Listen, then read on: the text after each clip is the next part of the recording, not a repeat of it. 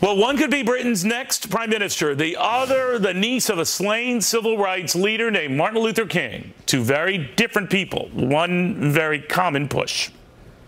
Why do and have so many Brits joined ISIS?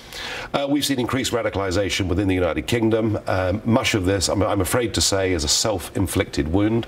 We've had four decades of state sponsored multiculturalism. We've actually encouraged people not to come together and to be British, but to live separately, to live apart. Uh, we even had kind of like what we're doing here. Uh, yes, no, there are similarities. We even had the last Archbishop of Canterbury suggesting that Sharia law would be acceptable in British cities. So I'm afraid we have been weak and we have not been muscular in standing up and saying to people, we are a Christian country. We have a Christian constitution, a Judeo Christian culture. We've allowed our schools to be infiltrated. Our prisons, you know, are now perhaps where jihadism is on the march more rapidly than anywhere else. Much of this we've done to ourselves to have the leader of our country at one point say, well, we're no longer a Christian nation. And I'm noticing now that in all the reports, when we're hearing from the White House, we're hearing various answers. But where is the righteous indignation? Where is the charitable? Oh, answer. What about the Geneva Convention? So we are all rules gone now? And then do we pontificate about, well, we've done some strikes and we're having conversations, and yet young men are being killed and beheaded before our very eyes, American young men. All right, it's fair to say that those two are not politically on the same page, but on this central issue about losing our, our core as a Judeo Christian uh, nation, as a Judeo Christian Western power, do they make a point? Is this move toward multiculturalism and away from Judeo-Christian values fueling the ISIS problems we're seeing? Let's ask Father Robert Sirico and Captain Chuck Nash. Father, what do you think?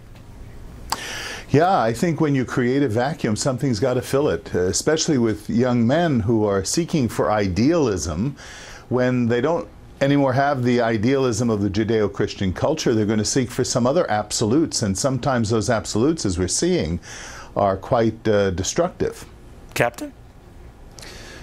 Neal, when I was a young lad and I was in school, we were taught that America was the great melting pot. That when you came here, you became as one, you became an American. And then we shifted at some point, I believe it was in the 70s, to start calling it the salad bowl concept, where it was all of the various parts, each distinct, that made up the great salad. Well, the military continues to run the melting pot, i.e., find those things, the common values, the common language, the common accepted behavior that all shall do. And that's why the military is the last meritocracy in this country. So when you give up on that and you start accentuating differences, it doesn't bode well. Uh, Father, the argument for moving away from being a Christian-based nation, as to, to, to, to, quote the niece of Martin Luther King, is that you want to allow more in and a more open mind to these other points of view. Uh, she rejected that, so did uh, Ms. Farage. But what do you think of that?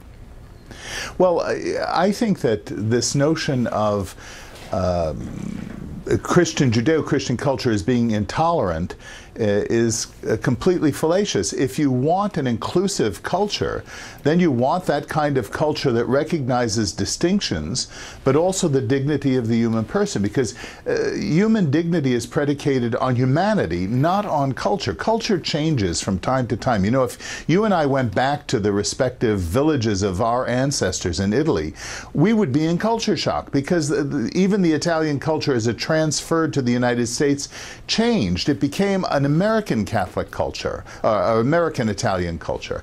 And so I think this is. Um, uh, we're, we're playing a very dangerous game here, this multiculturalism that's mandating things to be broken down on the basis of class and race. And this promotes a balkanization of our nation. You know, is it more economic, though, Captain? One of the things I've raised with economists on this show is that, you know, in an economic vacuum where, where, where a lot of jobs are wanting and the jobs that are there aren't that great, this is what happens. And it has nothing to do with this whole uh, Judeo Christian argument. What do you say? Well, I, I disagree because uh, as a society, society shares many, many things. And when you come in and look at uh, all of the past uh, migrations into the United States, whether it be the Germans, the Dutch, uh, the, the Spanish, uh, Brits, uh, it doesn't matter, most of them came from Christian countries.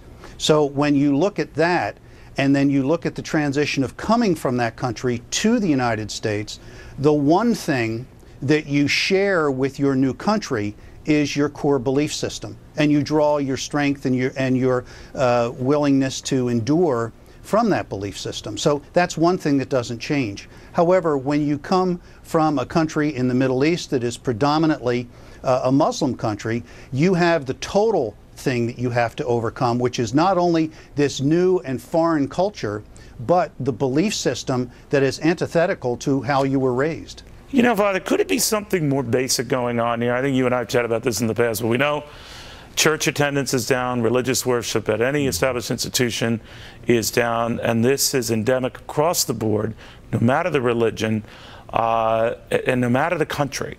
And, and, whether you want to say it's increasingly a godless world, uh, it, it seems to be increasingly more of a secular world.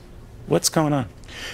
Well, I, I, think that's true. Uh, you, you, remarked a moment ago about the uh, economic framework in which we exist and uh, being responsible for. But let's remember that the economic framework of the United States, heretofore, till the last perhaps 15, 20 years, was largely a, a, an ethic built on the Judeo Christian values, the view of the human person, the right to property, the right to trade, a sense of tolerance even where there was disagreement. I, I know that from having grown up in Brooklyn in the 1950s. You, you couldn't have had more diversity that was not mandated by any state uh, apparatus, and yet there was a common core uh, that was just spoken about that, that joined us together. Uh, an ethos that bound us together in a common cause, a common culture. And I think that's what we need to, to re-promote. And, and, and the fact that the churches are failing in that is the result, I would insist, on a certain cowardice with regard